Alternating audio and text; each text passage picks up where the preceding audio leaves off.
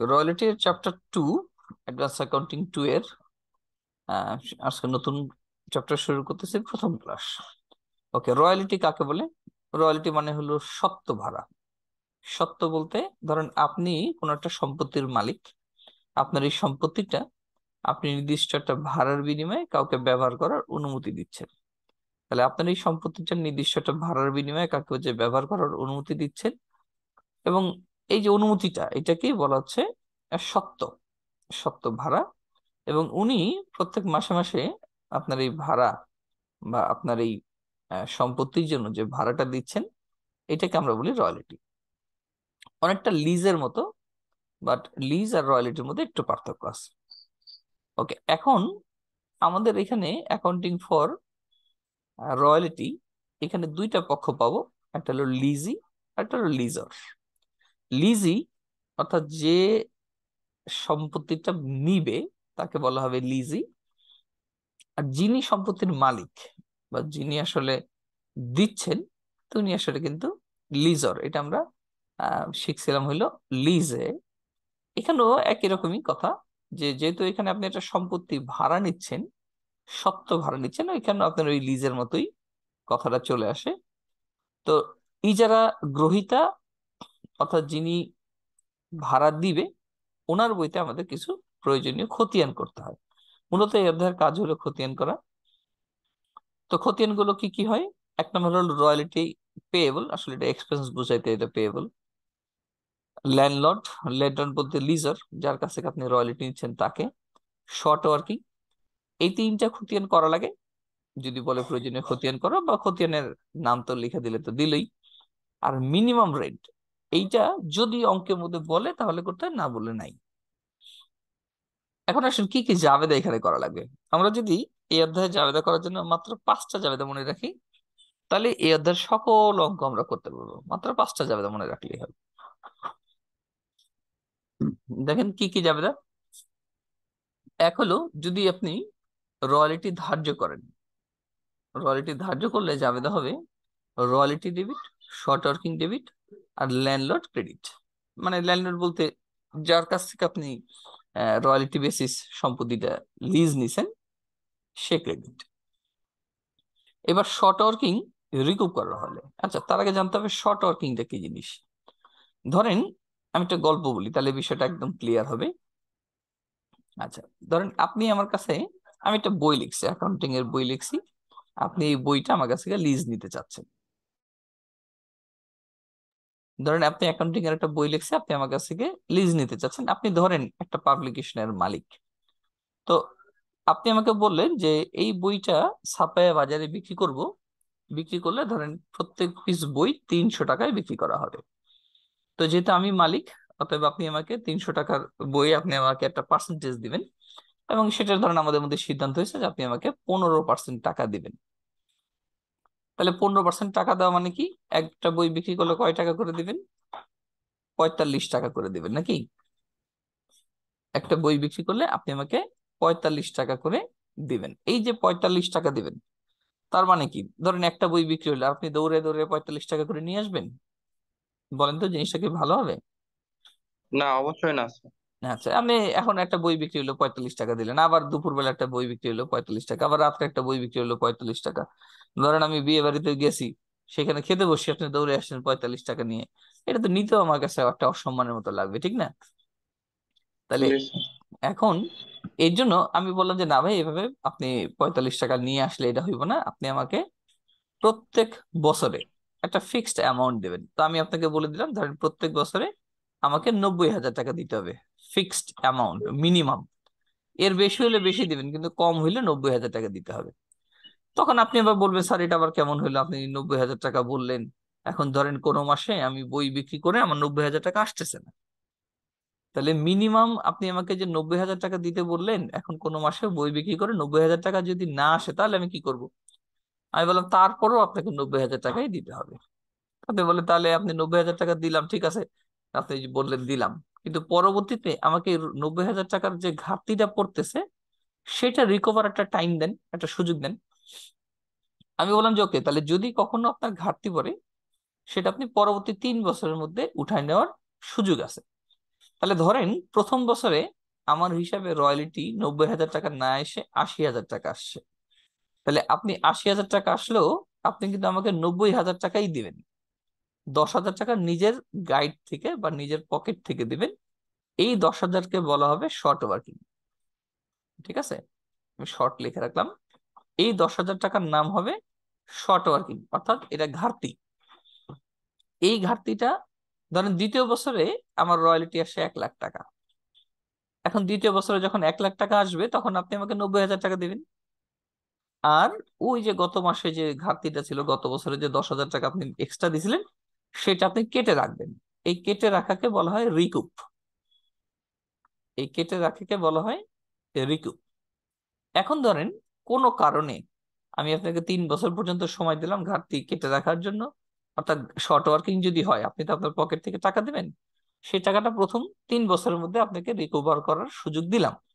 কিন্তু ধরেন প্রথম বছরে আসলো নব্বই হাজার, দ্বিতীয় বছরেও আসলো নব্বই হাজার, তৃতীয় বছরে একদম লাস্ট বছরে যেয়ে ধরেন আমার ভাগে রয়্যালিটি আসলো আশি হাজার টাকা।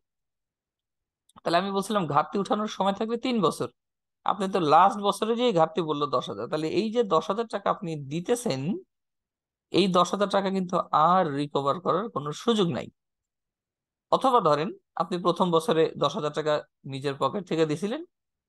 আপনার কথা ছিল যে পরবর্তী তিন বছরের মধ্যে বা পরবর্তী দুই বছরের মধ্যে যখনই বেশি টাকা আসবে, আপনি সেটা রিকভার করে নেবেন বা কেটে দেবেন বা রিকুপ করে নেবেন। কিন্তু পরবর্তী তিন বছরের মধ্যে আর কখনোই নব্বই হাজার টাকার বেশি রয়্যালিটি আসলো না। তাহলে আপনি যে দশ হাজার টাকা আমাকে নিজের পকেট থেকে দিছিলেন, শর্ট ওয়ার্কিং যে দিছিলেন, সেটা তো আর রিকভার করার সুযোগ পেলেন না। এটাকে বলা হয় রিটার্ন অফ অর্থাৎ অবলোপন করে দিতে হয়।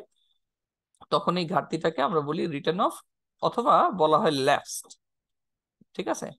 ল্যাপসড মানে এটা অতিক্রান্ত হয়ে গেছে টাইমটা এক্সপায়ার হয়ে গেছে। তাহলে এই যে কথাগুলো এই কথাগুলো এখন আমরা জার্নালের মধ্যে খুঁজে পাবো। তাহলে ধরেন স্যার তাহলে এটার চুক্তিপত্র হচ্ছেন তিন বছরের জন্য? না তিন বছরের জন্য। এটা চুক্তিপত্র কীরকম হবে? এটা অঙ্কের মধ্যে বলা থাকবে। কারও তিন বছর হতে পারে কারও পাঁচ বছর হতে পারে। যে যেভাবে চুক্তি করে নেয়। এখানে মানে স্যার ইয়া দিয়া থাকবে শর্ত দিয়া থাকবে। অবশ্যই শর্ত দেওয়া থাকবে। হুম। কন্ডিশন দিয়া থাকবে ওকে। আচ্ছা। তাহলে এখন আসেন। ধরেন আহ শর্ট ওয়ার্কিং বা ঘাটতি হইল। সেই ঘাটতিটা পুনরুদ্ধার করা গেল। এই যে আপনি প্রথমে রয়্যালিটি ধার্য করলেন, এটার মধ্যে শর্ট ওয়ার্কিং সহ। আমি লিখে দিচ্ছি শর্ট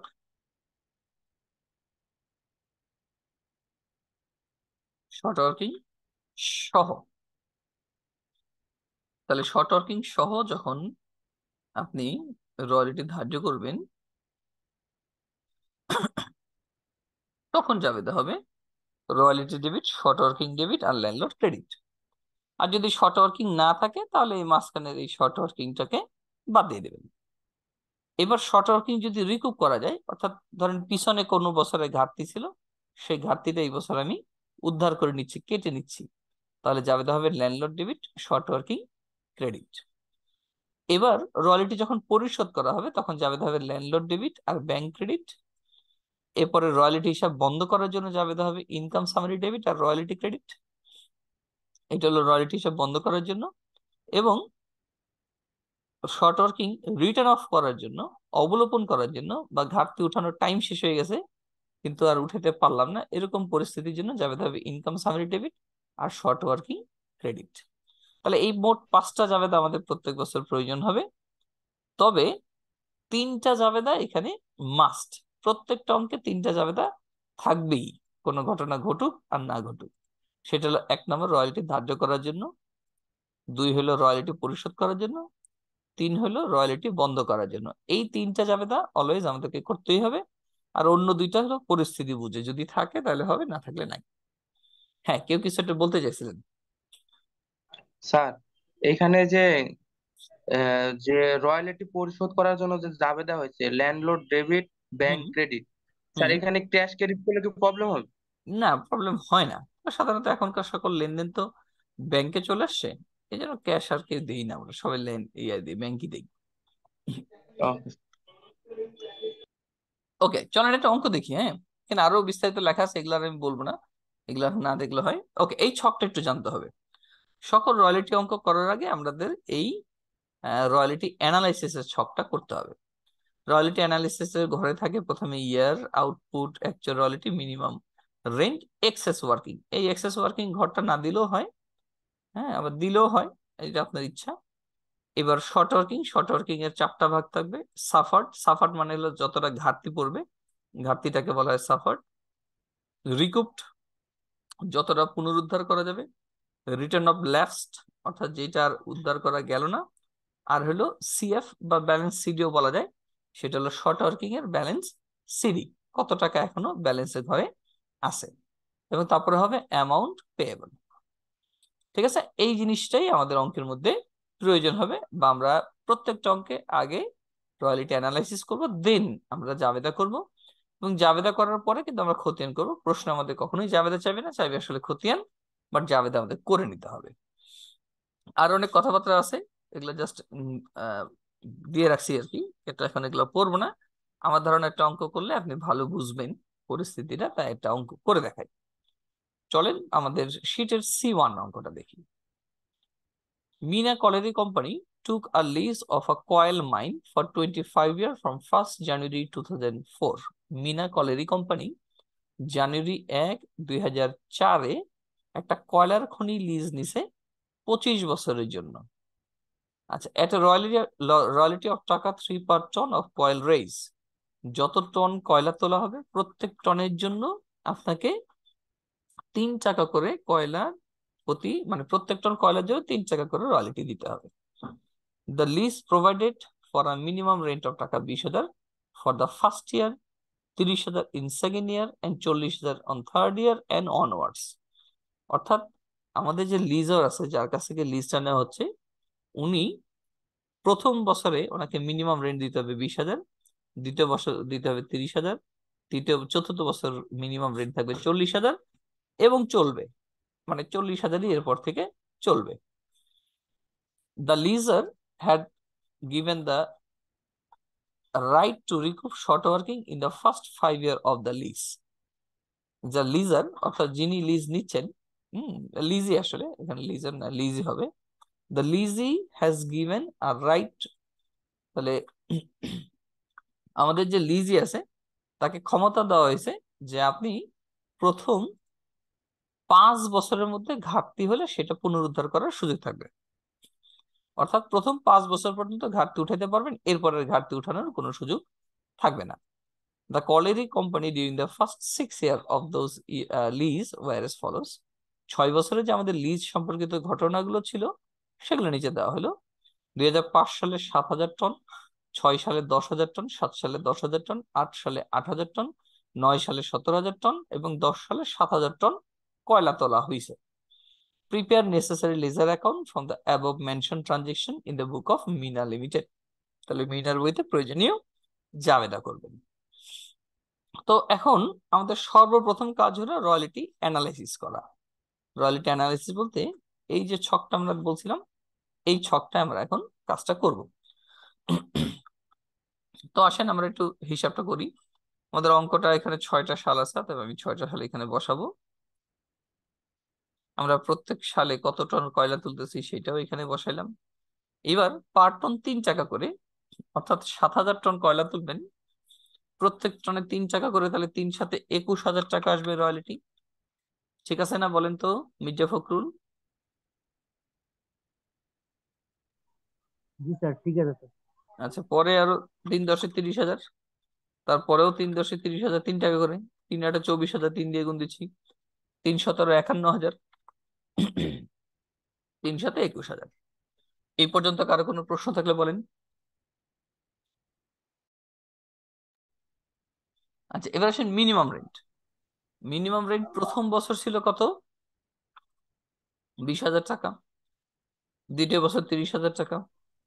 তৃতীয় বছর চল্লিশ হাজার টাকা এবং তারপর থেকে চল্লিশ হাজারই চলবে। এরপরে যে কয় বছর আসে সব বছরই চল্লিশ হাজার টাকা। ঠিক আছে সবুজ কোন প্রশ্ন? ঠিক আছে স্যার। আচ্ছা তাহলে আপনার রয়্যালিটি আসছে একুশ হাজার মিনিমাম হইল বিশ হাজার। তাহলে এক্সট্রা রয়্যালিটি আছে কত? এক হাজার? ঠিক আছে না এক হাজার? আপনার মিনিমাম দিতে হবে বিশ হাজার কিন্তু আসছে একুশ হাজার তাহলে তো এক হাজার বেশি আছে। তাহলে কোনো সাফার নাই কোনো ঘাটতি নেই। আর যেহেতু ঘাটতি নাই রিকুবও নাই রিটার্ন অফও নাই সিডিও নাই একুশ হাজার টাকাই দিতে হবে। অর্থাৎ যিনি মালিক ওনাকে আপনি একুশ হাজার টাকাই দেবেন। মনে রাখবেন অ্যাকচুয়াল রয়্যালিটি আর মিনিমাম রেন্ট এই দুইটার মধ্যে যেটা বড় অ্যাকচুয়াল রয়্যালিটি আর মিনিমাম রেন্ট এই দুইটার মধ্যে যেটা বড় সে বড়টার থেকে যদি রিকুপ থাকে, রিকুপটা মাইনাস করব। অ্যাকচুয়াল রয়্যালিটি মিনিমাম রেন্ট এই দুইটার মধ্যে যেটা বড়, সেটা থেকে রিটার্ন অফটা মাইনাস করলে যা হবে, সেটা হবে অ্যামাউন্ট পেয়েবল মনে রাখেন, ঠিক আছে? দুই হাজার ছয় সাল দেখেন, তিরিশ হাজার অ্যাকচুয়াল রয়্যালিটি তিরিশ হাজার মিনিমাম রেন্ট কোনো সাফার্ড এক্সেস কিছু নাই, কোনো বাড়তি ঘাটতি কিছু নেই। তারপরে বছর তিরিশ হাজার টাকা রয়্যালিটি মিনিমাম রেন্ট চল্লিশ হাজার, এখানে তো ঘাটতি পড়ছে। কয় টাকা ঘাটতি? দশ হাজার স্যার। এটা সাফার্ডের ঘরে লিখলাম। এখন এই যে দশ হাজার টাকা এই দশ হাজার টাকা যে কোনো ঘাটতি উঠানোর সময় কয় বছর? ফার্স্ট ফাইভ ইয়ার্স পাঁচ বছর। তাহলে আমার হাতে তো আরও সময় আছে। এটা তৃতীয় নম্বর বছরে ঘাটতি পড়ছে। তাহলে আরও দুইটা বছর হাতে আছে না ঘাটতি উঠানোর? জি স্যার। তাহলে এই ঘাটতি উঠানোর সময় আছে বলে এই ঘাটতিটাকে আমি ব্যালেন্স সিডির ঘরে লিখে রাখছি। তাহলে যদিও রয়্যালিটি আসে চল্লিশ হাজার টাকা এই তিরিশ হাজার টাকা বাট আমি ওনাকে চল্লিশ হাজার টাকাই দিব। দশ হাজার টাকা আমার পকেট থেকে দিছি তাই এটা সিডির ঘরে লেখা রাখছে আমি দশ হাজার টাকা পকেট থেকে দিছি। এবার দুই হাজার আট সালে রয়্যালিটি আসে চব্বিশ হাজার টাকা। মিনিমাম রেট হলো চল্লিশ হাজার টাকা। এখানেও তো ঘাটতি পড়ল। কয় টাকা? ষোলো হাজার ষোলো হাজার টাকা। তাহলে সব মিলে ঘাটতির পরিমাণ দাঁড়ায় গেল কিন্তু ছাব্বিশ হাজার টাকা। তো আমি কিন্তু ওনাকে ওনার রয়্যালিটি চল্লিশ হাজার টাকায় দিলাম। এবার দুই হাজার নয় সাল এই সালেই কিন্তু আমার ঘাটতি উঠানোর শেষ সময়। এরপরে কিন্তু আর ঘাটতি উঠানোর কোনো সুযোগ নাই কারণ বলছিল প্রথম পাঁচ বছরের মধ্যে ঘাটতি উঠাইতে হবে। এটাই তো পঞ্চম বছর।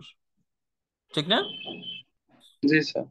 আচ্ছা তাহলে একান্ন হাজার টাকা রয়্যালিটি মিনিমাম চল্লিশ হাজার টাকা দিতে হবে। তাহলে এক্সেস বা এক্সট্রা আছে কত টাকা? এগারো হাজার। এগারো হাজার টাকা। এখন তাহলে এগারো হাজার টাকা আমি রিকুপ করব। হুম। তাহলে আমার তো টোটাল ঘাটতি ছিল ছাব্বিশ হাজার টাকা। এগারো হাজার টাকা আমি উদ্ধার করতে পারছি আর পনেরো হাজার টাকা? ঘাটতি থাকল। ঘাটতি থাকল মানে কি টাইমও শেষ হয়ে গেল। ঘাটতিটা এরপর আর উঠানোর চান্স নাই। হুম। অতএব সিডির ঘরে ফাঁকা আমি ওনাকে চল্লিশ হাজার টাকাই দিলাম। চল্লিশ হাজার বের করলাম কীভাবে? অ্যাকচুয়াল রয়্যালিটি আর মিনিমাম রেন্ট এই দুইটার মধ্যে যেটা বড় সেটা থেকে আমরা রিকুপটা বাদ দিছি। অর্থাৎ একান্ন আর চল্লিশ হাজার, দুইটার মধ্যে একান্ন হাজার টাকা বড়। সেখান থেকে রিকুপ এগারো হাজার টাকা বাদ দিলে যা থাকতেছে, সেটা আমরা অ্যামাউন্ট পেয়েবলের ঘরে লিখছি। এখন দুই হাজার দশ সাল। উনিশ হাজার একুশ হাজার টাকা আমার রয়্যালিটি আসছে। মিনিমাম হলো চল্লিশ হাজার টাকা। ঘাটতি পড়ছে উনিশ হাজার টাকা, ঠিক না? উনিশ হাজার ঘাটতি পড়ছে, সবুজ বলেন না কে?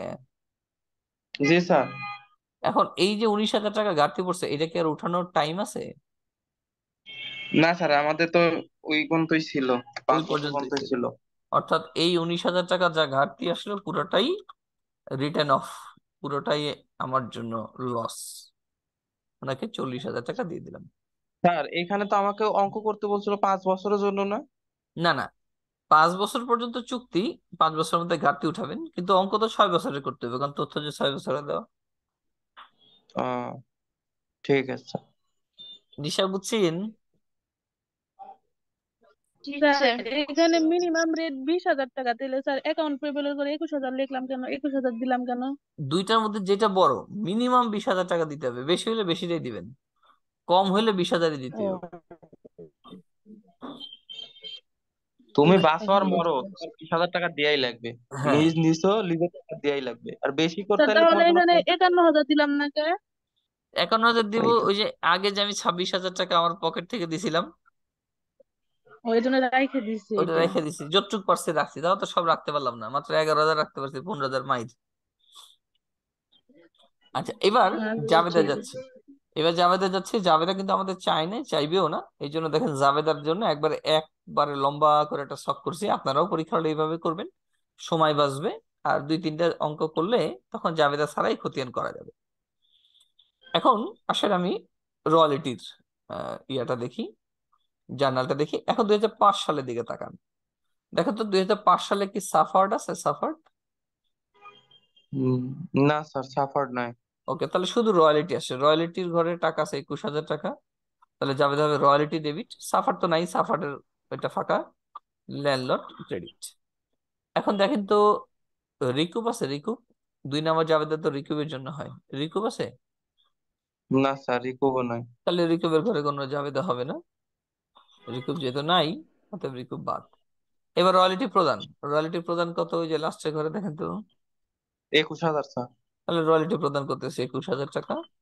এই যে একুশ হাজার টাকা।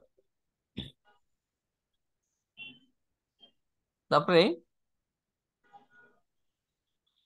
এবার রয়্যালিটি বন্ধ করার জন্য রয়্যালিটি বন্ধ করার জন্য এই যে রয়্যালিটি যে একুশ হাজার টাকা এটার জন্য যাবে দেবে income summary debit royalty credit এবার আসেন আমাদের এই অঙ্কে দুই হাজার পাঁচ সালে আমাদের কোনো ল্যাপস আছে? ল্যাপসড বা রিটার্ন অফ নাই? না স্যার তাহলে এই লাস্টেরটা কোনো জাবেদা হবে না। কারণ ল্যাপসড থাকলে একমাত্র লাস্টে জাবেদা হবে না থাকলে নাই। ওকে তাহলে আমাদের গেল দুই সালে এবার ছয় সালে দিকে তাকান। ছয় সালে কোনো সাফার্ড আছে? সাফার্ড কিছু নাই স্যার। নেই তাহলে সাফারের ঘরটা ফাঁকা তিরিশ হাজার টাকা। এবার রিকুবও নাই তাহলে রিকুবের ঘরটাও ফাঁকা। এবার রয়্যালিটি প্রদান তিরিশ হাজার টাকা। রয়্যালিটি ক্লোজ তিরিশ হাজার টাকা। রিটার্ন অফ নাই রিটার্ন অফের ঘরও ফাঁকা। এবার দুই হাজার সাত সালের দিকে তাকান। সাথে রয়্যালিটি আসছে চল্লিশ হাজার টাকা, সাফার আছে সরি রয়্যালিটি আসছে তিরিশ হাজার টাকা, সাফার আসছে দশ হাজার টাকা। তাহলে রয়্যালিটি তিরিশ হাজার টাকা, সাফার দশ হাজার টাকা সব মিলিয়ে ল্যান্ডার চল্লিশ হাজার টাকা। কোনো রিকুব নাই, অতএব রিকুবের জাবেদা নাই। রয়্যালিটি প্রদান, প্রদানের ঘরে আছে চল্লিশ হাজার টাকা। অতএব রয়্যালিটি প্রদান চল্লিশ হাজার। চল্লিশ হাজার। এবার রয়্যালিটি ক্লোজ রয়্যালিটি ঘরে তিরিশ হাজার টাকা ছিল, এই তিরিশ হাজার টাকা এখানে বসাবো। এটাই হলো রয়্যালিটি ক্লোজ রিটার্ন অফ নাই অতএব রিটার্ন অফ এর ঘরে কোনো টাকা হবে না। এবার দুই হাজার আট সাল, আট সালে রয়্যালিটি আসছে চব্বিশ হাজার টাকা। সাফার আসছে ষোলো হাজার টাকা, সব মিলে চল্লিশ হাজার টাকা। রিকুব নাই, অতএব রিকুবের ঘর ফাঁকা। রয়্যালিটি প্রদান চল্লিশ হাজার টাকা। রয়্যালিটি ক্লোজ চব্বিশ হাজার টাকা, কারণ আমি প্রথমে রয়্যালিটি কিন্তু চব্বিশ হাজার টাকাই দিয়েছিলাম রয়্যালিটি যে টাকাটা, সেই টাকাটা এইখানে হবে। এইখানে হবে, এইখানে। এবার রিটার্ন অফ নাই নাই। দুই হাজার নয় সাল, এটা ভালো মতো দেবেন রয়্যালিটি আসে একান্ন হাজার টাকা। সাফার্ড কিন্তু নাই। সাফার্ডের ঘরটা কিন্তু ফাঁকা। এবার রিকুপ রিকুপ হিসেবে এগারো হাজার টাকা। যে রিকুপ এগারো হাজার টাকা। রয়্যালিটি প্রদান চল্লিশ হাজার টাকা। ওই যে এমন পে বলে ঘরটা লাস্টেরটা এই যে চল্লিশ হাজার টাকা। এবার রয়্যালিটি ক্লোজ একান্ন হাজার টাকা। প্রথম যে জাবেদা দিছি। এবার হলো রিটার্ন অফ রিটার্ন অফ পনেরো হাজার টাকা।